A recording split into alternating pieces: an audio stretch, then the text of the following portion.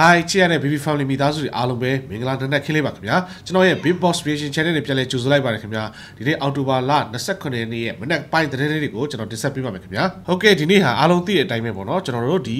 ရှမ်းမြောက်စစ်စင်ရေး1027 တနေ့ပြည့်တဲ့နေ့လည်းဖြစ်ပါတယ်เนาะအဲ့တော့ဒီနေ့မှာဒီ social media မှာသတိပေးချက်တွေအများများစွာလည်းရှိနေတယ်အဲ့ဒါဘာလဲဆိုတော့လေရင်နဲ့ဘုံနေရတော်တော်များများမှာဘုံကျင်းနိုင်မယ့်အခြေအနေတွေရှိတယ်ဆိုပြီးတော့သတိပေးထားတယ်ဖြစ်ပါတယ်เนาะအဲ့တော့ပြည်သူများအရောက်စီတိုင်းကိုရှိတဲ့နေရာမှာပေါ့เนาะဒီလေရင်ဘုံကျင်းမဲ့အန်ဒီရှိတဲ့အတွက်သတိထားကြဖို့เนาะလေရင်ဆက်တန်ကြားတယ်ဆိုရင်ရှောင်ကွင်းကြဖို့ဒီကနေအတိပေးနှိုးဆော်လိုပါတယ်เนาะဟုတ်ကဲ့ကျွန်တော်သတင်းဗီဒီယိုမစခင်မှာအရင်ဆုံးကျွန်တော်တို့လူရင်းတိုရှင်သတင်းသုံးဖို့နဲ့စလိုက်မယ်เนาะ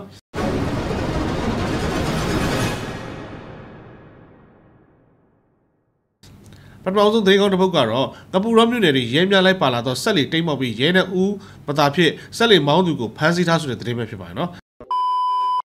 နောက်ထပ်သတင်းတစ်ပုဒ်ကတော့ကပ်ဘလူကာဘိုးရွာရှိစစ်တပ်စခန်းကို drone ဖြင့်ဘုံကျတိုက်ခိုက်မှုစစ်ကောင်စစ်တပ်သား9ဦးပြင်းထန်ဒဏ်ရာရရှိသွားတယ်ဆိုတဲ့သတင်းလေးပဲဖြစ်ပါတယ်နော် နောက်ထပ်သတင်းတစ်ပုဒ်ကတော့စစ်ကောင်စီလက်အောက်ခံပြည်သူစစ်တပ်ဖွဲ့များဖျက်သိမ်းရန်မွေးစေဝါတိုက်ဖြတ်ရေးစီမံကိန်းတွေလူမှုပါဝင်ရန် KIO ဥက္ကဋ္ဌတိုက်တွန်းနေဆိုတဲ့သတင်းလေးပဲဖြစ်ပါတယ်။တကယ်ပဲအရန်ကောင်းပါတယ်နော်။အဲ့တော့ပြည်သူစစ်ဆိုတာလည်းဘာပဲပြောဒီပြည်သူတွေကလူတွေပဲဖြစ်ပါတယ်နော်။အဲအတဲအားမှစစ်မှုထမ်းခိုင်းတဲ့ဥပဒေနဲ့တိတ်မကွာဘူးပေါ့နော်။အဲ့တော့ဒီပြည်သူစစ်ဥပဒေဖျက်သိမ်းလိုက်တယ်ဆိုရင်တော့စစ်ကောင်စီကယောက်ျားချင်းယောက်ျားချင်းတိုက်တဲ့ပုံစံဖြစ်သွားပြီပေါ့နော်။အခုကတော့ပြည်သူစစ်ကိုအကာအကွယ်ယူလိုက်စစ်မှုထမ်းဥပဒေနဲ့ခေါ်ထားတဲ့လူတွေအကာအကွယ်ယူလိုက်နဲ့တိုက်နေတယ်။အချောက်တက်လို့ဖြစ်နေပါပြီနော်။ အဲ့တော့ AR ရဲ့တင်ဆက်ထားတဲ့သတင်းလေးကိုကျွန်တော်တစ်ချက်တော့နောက်နောက်ကြည့်လိုက်အောင်နော်အဖွဲ့ဝင်တွေစီးနှင်းလာတဲ့ဆက်လေတိမ်းမှောက်ပြီးနေချင်းရဲနှစ်ဦးရေနစ်သေးဆုံးခဲ့တယ်လို့သိရှိရပါတယ်။อืมအော်တိုဘာလ23ရက်ညပိုင်းကငပူရောမြို့မရဲစခန်းကနေရဲတပ်ဖွဲ့ဝင်တွေဟာ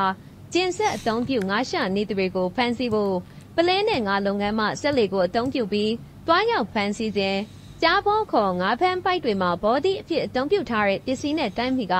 ဆက်လေတိမ်မုံရကနှစ်ဦးသေးဆုံးခဲ့ခြင်းဖြစ်ကြောင်း ရဲတပ်ဖွဲ့နဲ့နီးစပ်သူတွေထံကသိရှိရပါတယ်။မြို့မရဲစခန်းကရဲနှစ်ယောက်ရင်းနစ်ပြီးတေတယ်လို့ပဲကြားတာဒီမနေ့မှဆက်လေမောက်ကြတာလို့သိရတယ်။သူတို့ကညာဘက်စုတောင်ဆန်းမူးနေကြတော့လဲဖြစ်မှာပေါ့လို့ငပူရောမြို့ကန်တူက ARE Times ကိုပြောပါတယ်။တေဆုံးသွားသူများမှာငပူရောမြို့မရဲစခန်းမှာဖြန့်ရီကျော်ကျေးရွာအုပ်စုနယ်ထိန်အောင်ကျော်ဦးနယ်တမန်ချောင်းကျေးရွာမှာနယ်ထိန်မျိုးကိုလိုဖြစ်တယ်လို့ဒေသခံတွေရဲ့ပြောကြားချက်အရသိရှိရပါတယ်။ ရဲတပ်သားနှစ်ယောက်ရေနစ်သေးဆုံးပြီးတနက်တလက်ပါရေရဲမြုပ်သွားလို့စခန်းမှာပြဿနာတွေတက်နေတယ်လို့ရဲတပ်ဖွဲ့နဲ့နီးစပ်သူတူက ARI Times ကိုပြောပါတယ်။အဆိုပါနယ်ချင်းရဲနူးသေးဆုံးမှုအတွက်ငပူရောမြေတလျှောက်မှာ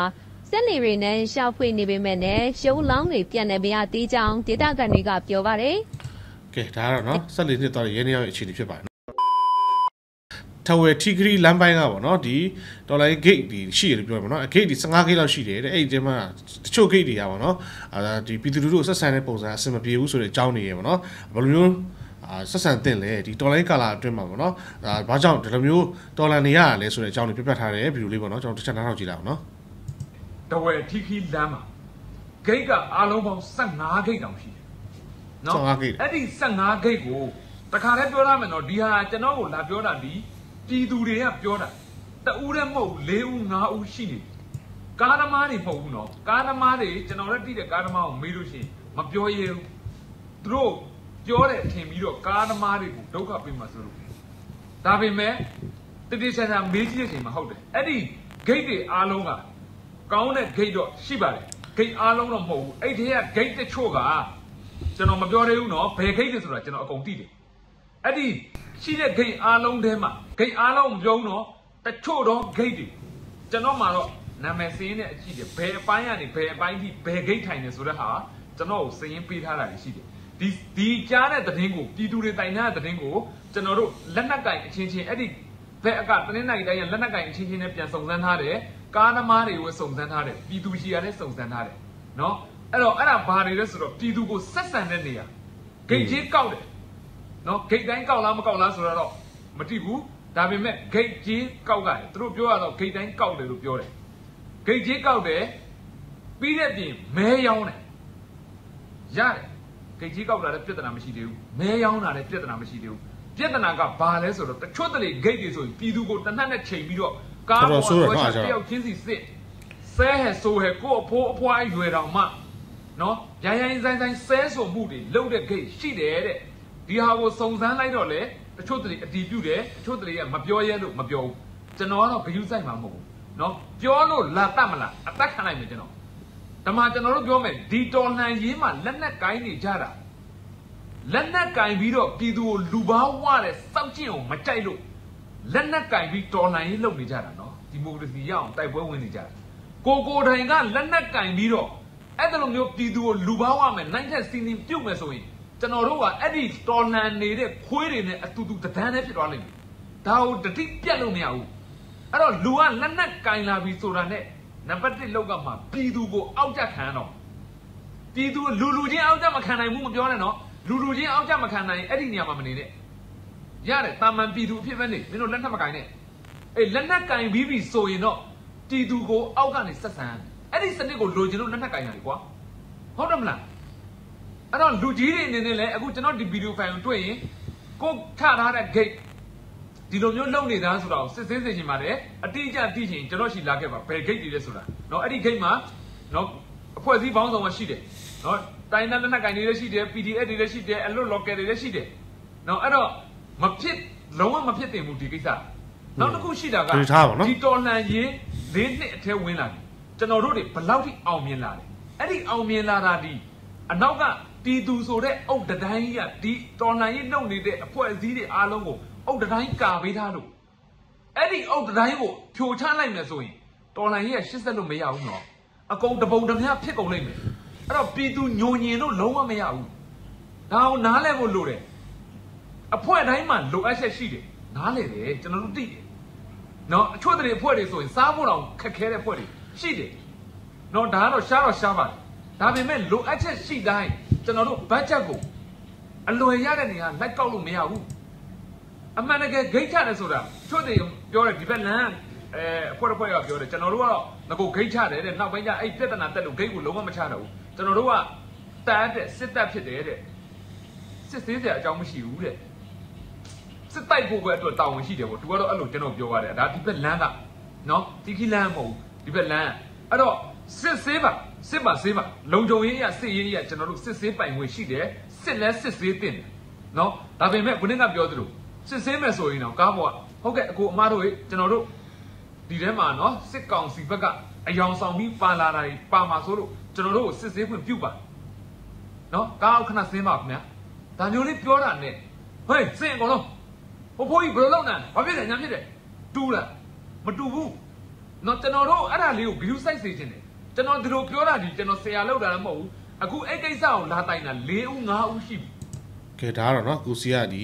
ဒါဝဲတီဂရီလမ်းဘက်မှာရှိတဲ့ gate တွေအကြောင်းကိုသူပြောထားဖြစ်ပါတယ်เนาะအဲ့တော့အဲ့ဘက်မှာ gate မှာရှိတဲ့တချို့တွေကလည်းအာတောင်းရန်ကျန်းနေတဲ့ပုံစံမှာရှိပါတယ်เนาะဒါမျိုးတွေကတကယ်တော့ဒီအချိန်မှာမဖြစ်သင့်ပါဘူးเนาะဒီတော်လိုင်းရေးဆိုတာကပီတုအားပီတုအားနဲ့သွားနေတာဖြစ်ပါတယ်เนาะဒါပြင်ကိုစီကပေါ့เนาะဒီဒီတော်လိုင်းရေးထဲမှာဒဏ်ဒဏ်ရရှိခဲ့တယ်ပေါ့เนาะကိုလေးအင်္ကာတွေချုပ်ရင်းသွားတယ် တော်လိုင်းရေးရဲဘော်တွေဟိုနော်ဘယ်လိုမျိုးပြူးဆောင်ရှောက်မှုတွေထားရင်ကောင်းမလဲဆိုတဲ့ဟာကိုတိုင်ပင်ဆွေးနွေးတဲ့ဟာလေးလည်းနားထောင်ကြည့်လောက်နော်ဟဲ့ကျွန်တော်တီးတဲ့ကုညီစောက်ရှောက်မှုတွေကျွန်တော်လုပ်ကောင်းကျွန်တော်တို့တူရဲကောင်းနေနော်လုံနိုင်တဲ့အချိန်လုံးကအာတိုက်ကြကွာမင်းတို့တိုက်ကြဆိုလှုပ်ပြီးတော့ဒုက္ခိတာဖြစ်မှပစ်ထားရတဲ့ဟာမျိုးအခုမဲဆောက်ဘက်မှာရှိတယ်ကျွန်တော်မနိုင်သေးတော့ဟိုအလုပ်ကိုမနိုင်မဲနဲ့ဟိုဖင်မနိုင်ပဲချင်းစားတာမျိုးကျွန်တော်မလုပ်ချင်ဘူး ဒါပေမဲ့အဲ့ဒီတူတွေအားလုံးအတွက်ကျွန်တော်တီးတဲ့ကုညီစောက်ရှောက်မဲ့အစီအစဉ်တွေလုပ်ဖို့ရှိပါတယ်ဒါကြောင့်မလို့ရဲဘော်တွေအနေနဲ့လည်းအားမလျှော့ပါနဲ့စိတ်သက်မကြနဲ့တော်လိုင်းမှာနှစ်ပေါင်းများစွာဟိုဒုက္ခတွေခံပြီးနေရတာကိုမငြီးငွေ့ပါနဲ့အားလုံးကကျွန်တော်တို့စပူဆိုးတယ်ဘယ်အကုန်လုံးကိုပြစ်ချပြီးတော့တချို့တွေရဲဘော်တွေကထင်မယ်အာမင်းတို့ကတော့ကွာအပေါ်မှာထောက်ဖို့လုပ်တာအေးစိတ်ကြောက်မော့လေးနေရတယ်ထင်မယ်မထင်နဲ့နော်လူခန္ဓာကိုယ်ကြီးလားဟိုတောထဲမှာနေသလိုဟို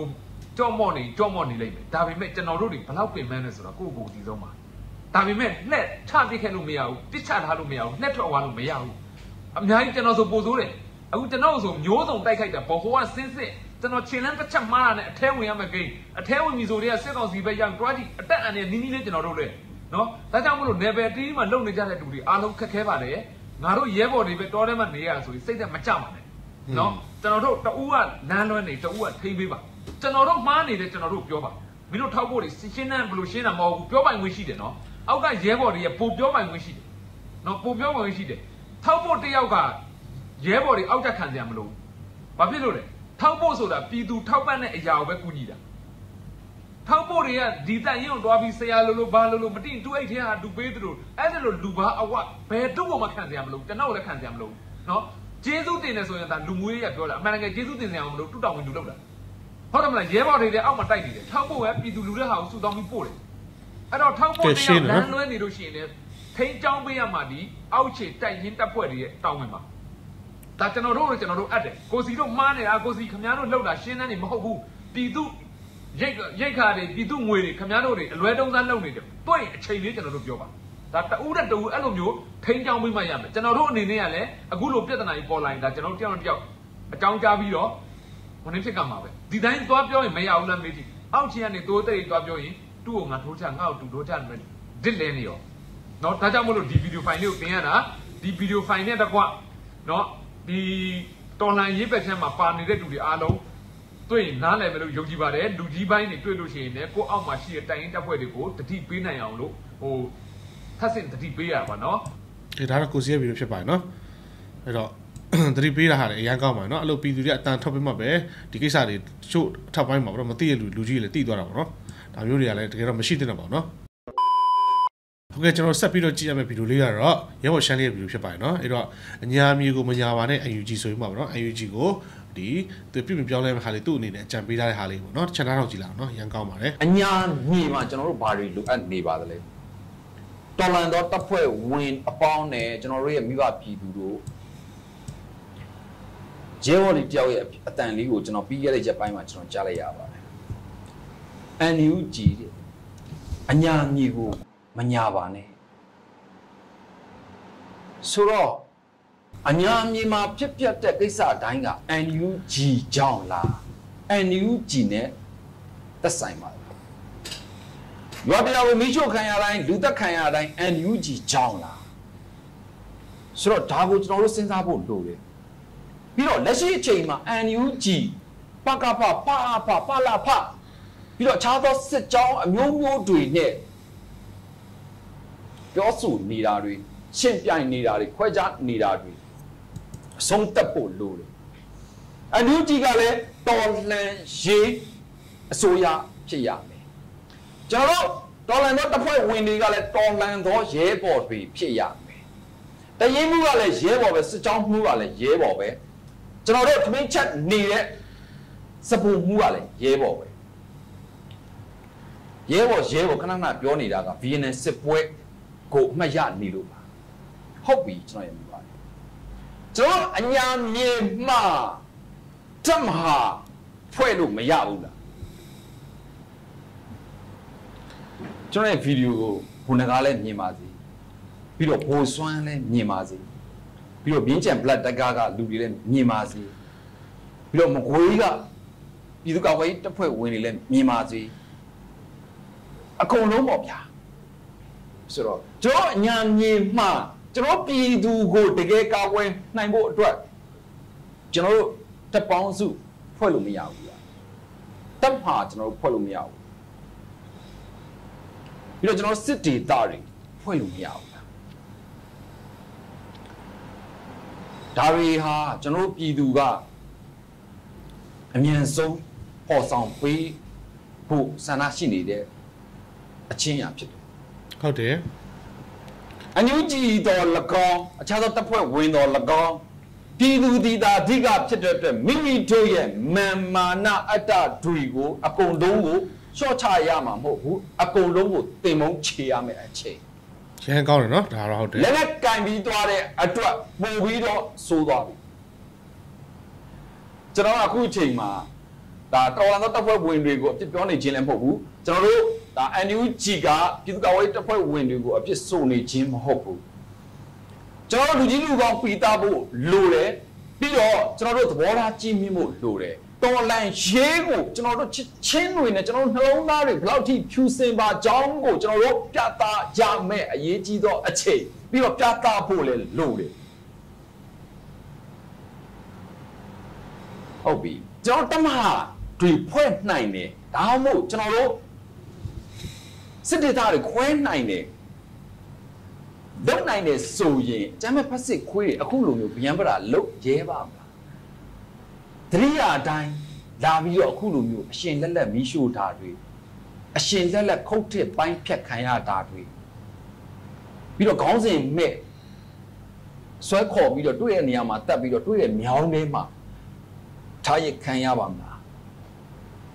ကျွန်တော်မိဘတွေအဖြေပေးပါကျွန်တော်ရဲ့ဗီဒီယိုကြည့်နေရင်းနဲ့အဖြေကိုရေရဲဝံ့ပေးပါကျွန်တော်ပြောနေခြင်းကအမုန်းတရားမပါတဲ့တော်လှန်ရေးဖြစ်တယ် တပွားဝင်အတီးတိတ်မဖြစ်မနေလုံရမယ့်ကိစ္စဖြစ်တယ်စစ်ကြောင်းနာမည်တွေစစ်ကြောင်းနာမည်တွေအများကြီး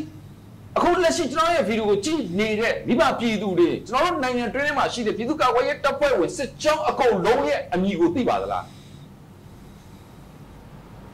မသိကျွန်တော်ကိုယ်၌တောင်မသိဘူးကျွန်တော်မြင်ပါဘူးတကယ်မသိတာအာဂလုံးငကနီအချားပြူအာစင်ဖြူ အများကြီးပဲရှိရှိသမျှလိမ့်ဆန်အကုန်လုံးရဲ့နာမည်ပါတယ်ဟုတ်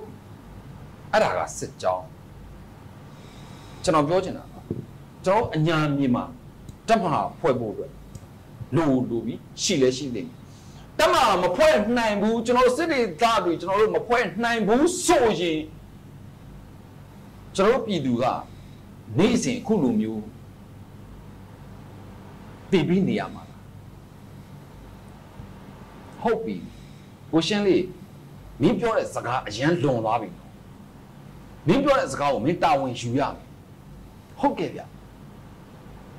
ကျွန်တော်ကလက်ရှိအရှိတရားနဲ့လက်ရှိလိုအပ်ချက်နဲ့ကျွန်တော်တို့ပြည်သူတွေရဲ့အမြင်နဲ့ကျွန်တော်တို့ပြည်သူတွေရဲ့ဆန္ဒကိုတင်ပြနေခြင်းဖြစ်တယ် ကဲဒါတော့ရဲဘော်ရှယ်လက်တင်ပြထားတဲ့အကြောင်းပဲဖြစ်ပါနော်အဲ့တော့အညာဒေသမှာအခုလိုမျိုးပေါ့နော်စစ်ကောင်စီကစစ်ကြောင်းထုတ်လိုက်မှာအများနဲ့တက်ဖြတ်နေတာအားလုံးလည်းသိပြီးသားဖြစ်ပါတယ်နော်မနေ့ကဆိုလည်းဒီရွာသားတွေကိုမိရှုသားတဲ့သတင်းတော်တော်လေးစိတ်မကောင်းစရာဖြစ်ပါတယ်နော်အဲ့တော့ဒါမျိုးတွေဖြစ်တဲ့အကြောင်းရင်းကဘာလို့ပြောစစ်ကောင်စီရဲ့ထိုးစစ်ကြောင်းဆိုမှန်ပေမဲ့ပေါ့နော်ဒီအညာဒေသမှာရှိတဲ့တော်လင်းတပ်ဖွဲ့တွေကစုပေါင်းပြီးမှပေါ့နော်ဒီလိုမျိုးစစ်ကြောင်းထုတ်လာတဲ့နေရာတွေကိုနှိမ်နှင်းနိုင်နေဆိုရင်တော့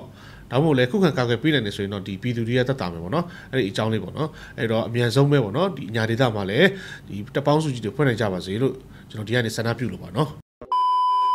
အဲ့တော့ဝါတော်ကဥဆောင်တဲ့ဒီပြည်သူစစ်တွေကလည်းတော်တော်လေးကိုပေါ့နော်အခုချိန်မှာဆိုရင်ပို့ပြီးတော့လူတွေကနေများလာပြီးတော့စစ်ကောင်စီကလက်နက်တွေထောက်ပံ့ထားတယ်ဆိုတဲ့အကြောင်းပေါ့နော်အဲ့တော့ဒီကပ်ဘလူနယ်မှာဆိုရင် ပြူစော်ရီအယောက်900လောက်စုပေါင်းပြီးမှာပေါ့နော်ပြည်သူကိုချိတ်ချောက်အင်အားပြတဲ့ဟာလေးပေါ့နော်ကျွန်တော်နောက်နောက်ကြည့်လောက်နော်တစ်ချက်လောက်။ရိုင်းနိုင်ကမ်လူမျိုးနယ်အတွင်းကတင်ငန်းဝဲဝါသွားလာအောက်ကပြူစောတိအင်အား900ကျော်ကိုစိုးစုကလက်နက်အပြည့်အစုံတပ်ဆင်ပေးပြီးတဲ့နောက်ပြည်သူကိုအင်အားပြချင်းချောက်နေတယ်လို့ဒေသခံတွေကပြောပါတယ်။ဒီကတော့လင်းငယ်ရတော့ရှိမှာမို့ရှန့်သွားတယ်။ဒါတော့တရွာဟို ဟိုနာကားနဲ့သွားပြီးတော့ဟိုနာလင်းငယ်ပဲချဟိုနာတရားချနေရာချအဲပြင်းညပြန်ခေါ်ပြန်ဆုပ်ဒီလိုပဲသွားနေကြတာအဲ့ဒါ။အင်အားပြတဲ့သဘောမျိုးပါ။လူလူလူလူအင်အားအင်အားပြချင်းချောက်တဲ့သဘောပါ။အဲ့ဒီပြူစောတိတွေကပြည်သူစီကလူယူထားတဲ့မော်တော်ကားတွေကိုအသုံးပြုပြီးဟွန်းလက်နက်အပြည့်အစုံနဲ့ကမ်လူနယ်အတွင်းကသူတို့စိုးမိုးနယ်မြေအတွင်းလှည့်လည်ပြီးတော့အင်အားပြချင်းချောက်နေတာလည်းဖြစ်ပါတယ်။တင်ငန်းဝင်းဝါသွားလာအောက်ခံပြူစောတိတွေဟာကမ်ဘလူဒဇယ်နဲ့ ကျွန်းလာမြို့နယ်အတွင်းကဒေသခံပြည်သူတွေကိုပြူဖွဲ့တဲ့ဝင်ရောက်ဖို့အရမစုဆောင်းတာတွေလှုပ်ဆောင်နေပြီးဝါသွားစုဆောင်းထားတဲ့ပြူစောတိတွေကိုအော်တိုဘာလ22ရက်မှာစိုးစုကလက်နက်အပြည့်အစုံတပ်ဆင်ပေးခဲ့တာလည်းဖြစ်ပါတယ်။ကမ်ဘလူမျိုးနဲ့အတွင်းကပြူစောတိတွေဟာရင်ကလေးကနှီးမျိုးစုံနဲ့စိတ်ရဆွဲမှုတွေကျူးလွန်နေတာဖြစ်ပြီးအခုလိုပြူစောတိတွေအကုန်လုံးလက်နက်တက်ဆင်ပေးလိုက်တဲ့အတွက်နောက်ဆက်တွဲဖြစ်လာမှာတွေအတွက်ဒေသခံတွေအနေနဲ့စိုးရိမ်နေကြပါတယ်။ ကဲတစ်ဖက်မှာတော့ဗောနော်ခုလိုမျိုးပြင်ဆင်နေတာတွေ့ရပါဗောနော်အဲ့တော့အညာလူတွေလည်းအမြန်ဆုံးစုပေါင်းပြီးတော့ဒီအညာထဲမှာစုပေါင်းတဲ့တက်ကြီးဗောနော်ဖြစ်လာဖို့မြန်မြန်ဖြစ်လာဖို့လိုပါတယ်နော်ကဲကျွန်တော်နောက်ထပ်ဓာတ်ထောင်မှာတော့ဆယ်လီမစ်ကျော်ပြောထားတဲ့မန္တလေးအကြောင်းပေါ့နော်မန္တလေးတဝိုက်ကဒီစင်ကူးလိုနယ်မျိုးတွေကိုဒီဒေါ်လင်းတက်တွေကတိတ်ထားပြီးပြီဆိုတဲ့အကြောင်းရယ်ဒီမန္တလေးရဲ့အခြေအနေလေးပေါ့နော်ကျွန်တော်တစ်ချက်ထားတော့ကြည့်လောက်နော်လှုပ်ရှားနေမြေတွေကျုံဝင်သွားပါတယ် မန္တလေးမြို့နဲ့မိုင်40သာကွာရှိတဲ့စင်ကူးမြို့ကို PDF တွေလက်ရှိတိတ်ထားပါတယ်မန္တလေးမြို့နဲ့15မိုင်သာဝေးတဲ့ Alpha ဘီလက်မီစက်ကုန်ကိုလည်းတိမ်ပတ်ထားပါတယ်တပည့်ကြီးစင်ကူးတကောတကြောမှာတော်လိုင်းအင်အားစုတွေအများအပြားနဲ့ AR မြစ်တစ်ဖက်ကမ်းမှာရှိတဲ့ရွှေဘုံအင်အားစုတွေလွတ်လွတ်လပ်လပ်ချိတ်ဆက်ပြီးတဟုန်တို့ထိုးဝင်လို့ရအောင်စစ်ပြင်နေတယ်လို့ကျွန်တော်တို့ယူဆလို့ရပါတယ် အဲ့တော့မန္တလေးကိုစိတ်ကြိုက်စစ်ချီနိုင်ဖို့စစ်ကစားနိုင်ဖို့ပြင်ဆင်ဆောင်ရွက်နေတယ်လို့ပဲမြင်ထားလို့ရပါတယ်မန္တလေးမြို့မြောက်ဖက်မှာတော့ခိုင်မာတဲ့လွတ်မြောက်ဒေသကြီးပေါ်လောက်ပေါ်ပေါက်လာနေပါပြီမြို့ရဲ့တောင်ဘက်နယ်မြေတွေဖြစ်တဲ့တရားဦးတို့မြင်းကြံတို့နထိုးကြီးတို့စင့်ကင်တို့မှာလည်းမြင်းကြံအထူးစစ်စင်ရေးနဲ့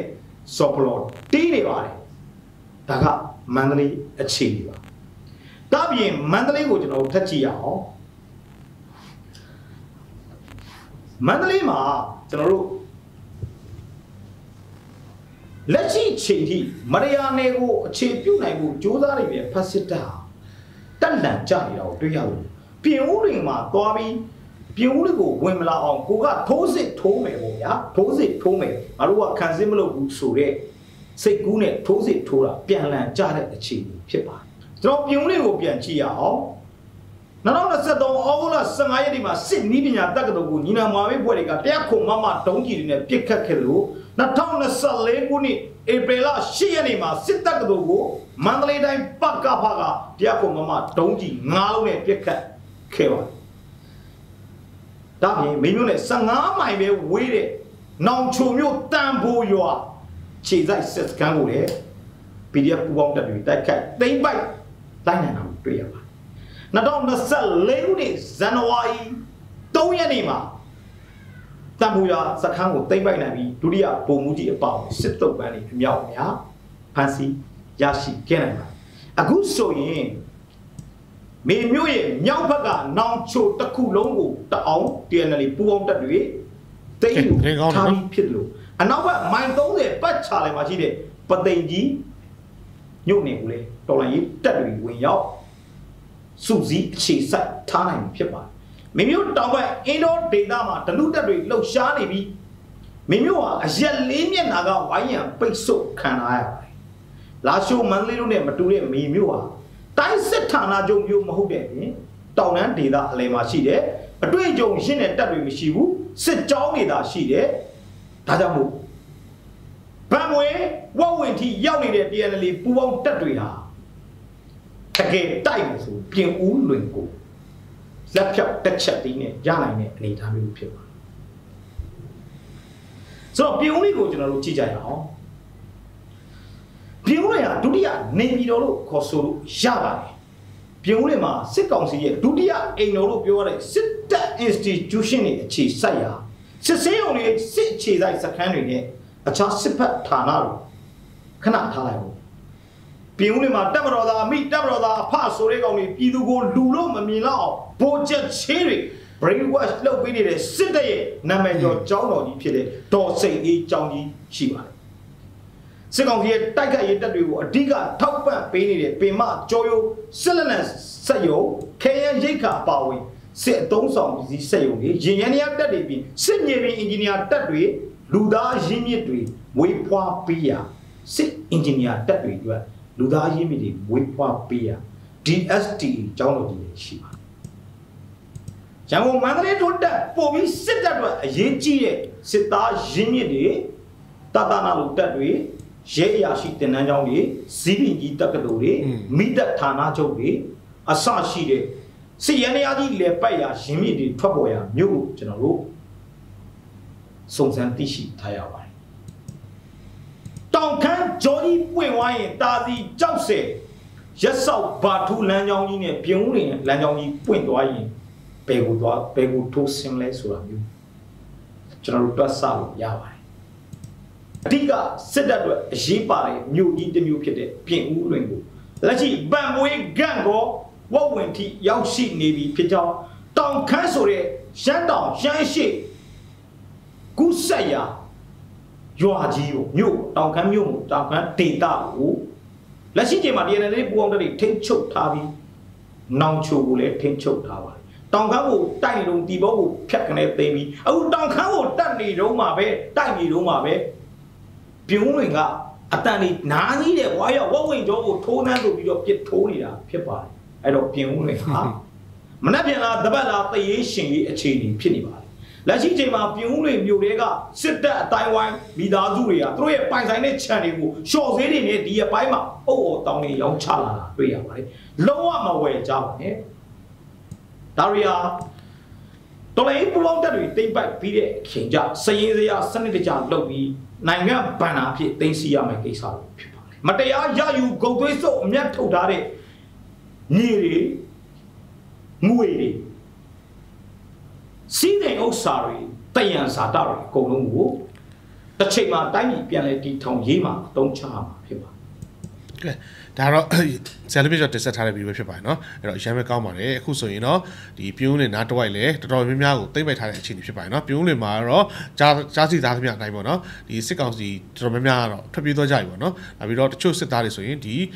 ဒီပြုံးလင်ကိုလာမတိုက်နိုင်အောင်ပေါ့เนาะရှေ့မှာသွားပြီးမှဆိုထိုးစစ်ဆင်တဲ့အခြေအနေဖြစ်တဲ့အတွက်ပေါ့เนาะပြုံးလင်မှာကတော့တော်တော်ကြီးကိုခုခံအားနည်းတဲ့အခြေအနေဖြစ်တယ်ပေါ့เนาะအဲ့တော့ဒီပြုံးလင်တစ်ဝိုက်ကနေတွေကိုရပြီဆိုရင်ပြုံးလင်ကိုရတယ်လို့ပဲဆိုပြီးမှသုံးသက်တင်ပြထားလေးဖြစ်ပါတယ်เนาะ